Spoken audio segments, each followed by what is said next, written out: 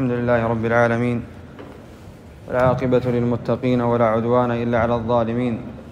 وأشهد أن لا إله إلا الله وحده لا شريك له. وأشهد أن محمدا عبده ورسوله صلى الله عليه وعلى آله وصحبه صلاة وسلاما إلى يوم الدين أما بعد. قال الحافظ النووي رحمه الله تعالى في كتاب رياض الصالحين في كتاب أدب الطعام قال باب استحباب كون ساقي القوم آخرهم شربا. قال وعن أبي قتادة رضي الله عنه عن النبي صلى الله عليه وسلم قال ساقي القوم آخرهم شربا. رواه الترمذي وقال حديث حسن صحيح.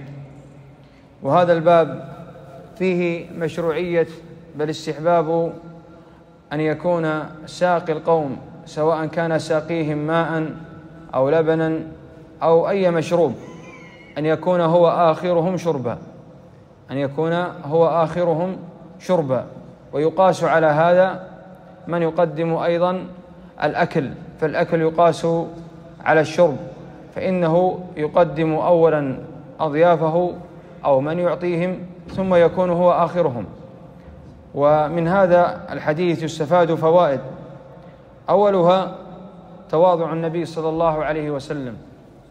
فالنبي صلى الله عليه وسلم كان هو الذي يباشر بنفسه سقي الناس. فلما جاءه أبو قتادة رضي الله عنه وأرضاه وأراد أن يقدم الرسول صلى الله عليه وسلم عليه فقال له النبي صلى الله عليه وسلم ساقي القوم آخرهم شربا.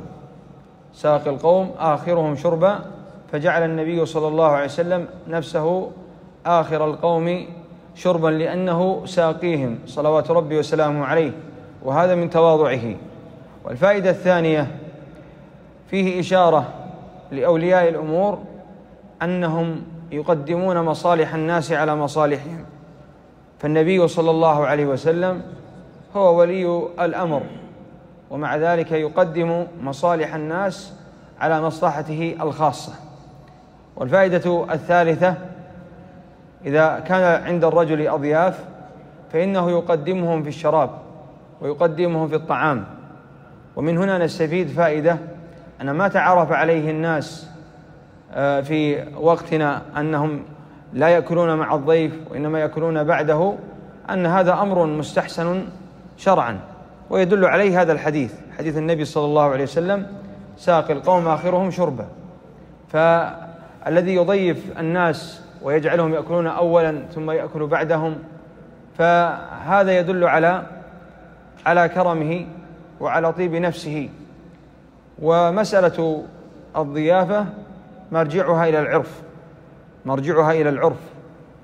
ولذلك ما تعارف عليه الناس في أمر الضيافة فإنه هو المعتبر.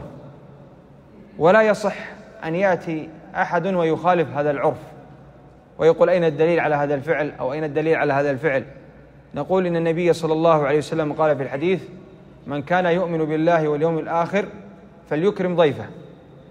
ولم يبين نوع الإكرام فدل على أن الإكرام مرجعه إلى مرجعه إلى العرف ولذلك لا يصح أن يخالف العرف ويطالب من يفعل هذا العرف بالدليل لأن المرجع في الإكرام هو عرف الناس ما لم يخالف الشرع. ومنه ما تعرف عليه الناس كما ذكرنا أنهم مثلا لا يقومون قبل الضيف أو أنهم يعني يأتون بعد الضيف ولا يأكلون معه إلى نحو هذه العادات التي يتعارف عليها الناس. فهذه لا تنكر بل إنكارها من الجهل.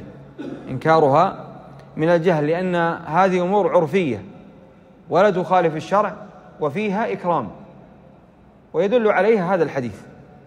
قوله صلى الله عليه وسلم ساقي القوم آخرهم آخرهم شربا وهذا حديث عظيم كما ذكرنا يدل على تواضعه صلوات ربي وسلامه عليه وفيه هذه الإشارات اللطيفة. هذا والله أعلم. صلى الله وسلم على نبينا محمد وعلى آله وصحبه أجمعين.